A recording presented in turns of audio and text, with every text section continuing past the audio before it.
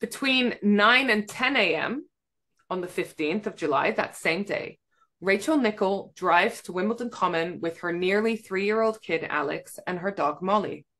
She parks at the Win- Wimbledon Windmill Cafe, pics on the socials, because that's where I was. They were then seen by a man called Roger McKern by the windmill. There's a, there's an actual windmill in Wim- Wimbledon Common, and there's a cafe there and everything, and that's where one of the main car parks is.